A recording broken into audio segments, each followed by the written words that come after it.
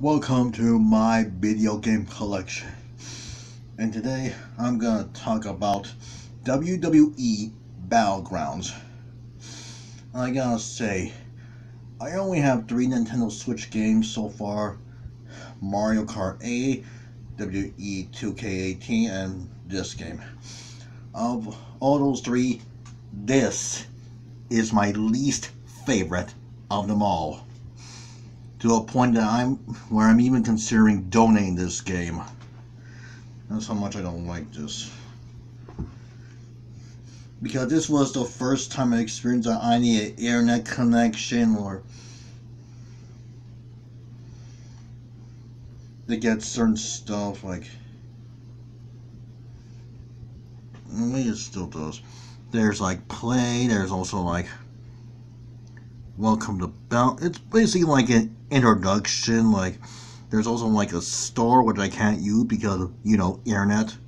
There's superstars. There's daily challenges I could do that you can create your own wrestler. But like I said, I need an internet to get. This.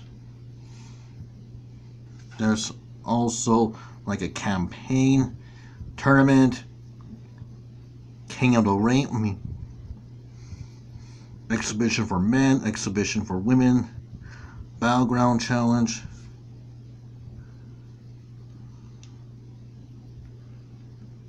See, it, it says I need an internet connection. Like,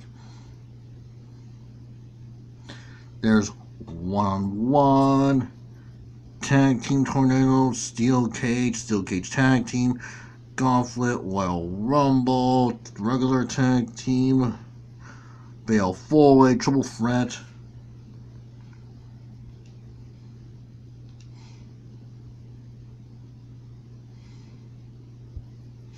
And they have these like facts and like what to do.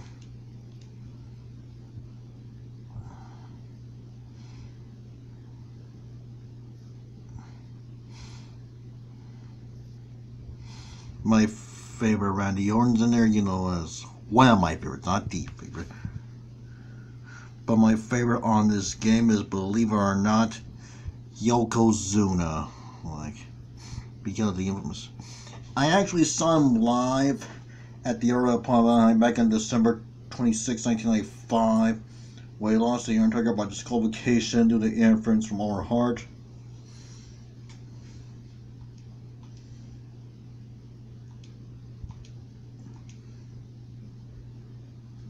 There's a timer I'm gonna I'm gonna show you like in these games they usually have like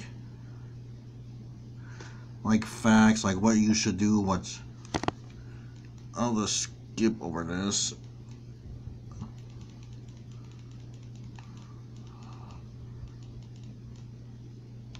Oh, this is taking a long time to inch battleground is kind of like you know that WrestleMania arcade game where you punch someone and they go flying through the air. You know the WrestleMania arcade game for the Super Nintendo and the Sega, like where you punch stuff, stuff comes out of them, and it's kind of like that. Like here's the intro for Yokozuna. Yeah, they have them come out of these crates for some reason. Like, when I when they come out of crates, I always think of Abdul the Butcher because Abdul the Butcher, you made his debut in WCW will come out of that box, come out not okay, not, not but a box. Like, mm-hmm, and here's opponent.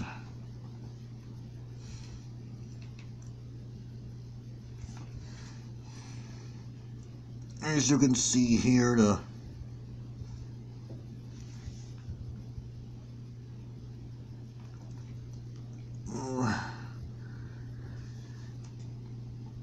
they're so like so small like they kind of remind me of those Equestria Girls mini dolls like let me show you.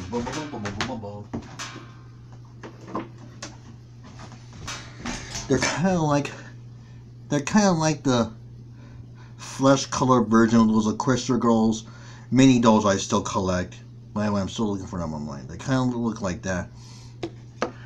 As you can see here, the gameplay is like somewhat similar to the WrestleMania arcade game with their extreme over the top moves, like even for like very cartoony, that's the expression cartoony. And using as you saw right there, there was like a power up, like like boo, like like he's going Super Saiyan. There's also commentary by Jerry Lawler, somebody else, I don't know. And they had like all these power ups right there, like if you press a certain button, you'll get that certain power up temporarily. I know Yokozuna's like the punch or something.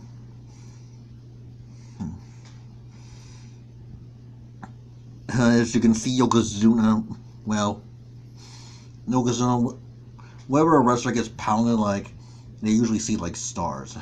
I'm gonna stop right now. So.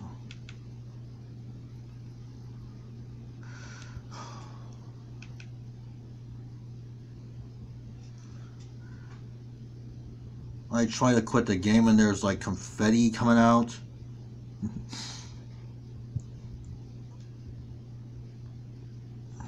well, there you have it. WE Battlegrounds.